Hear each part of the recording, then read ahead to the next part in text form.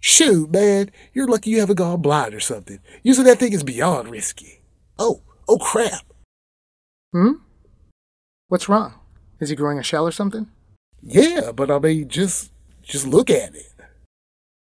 Wait, what? Why is this slug black?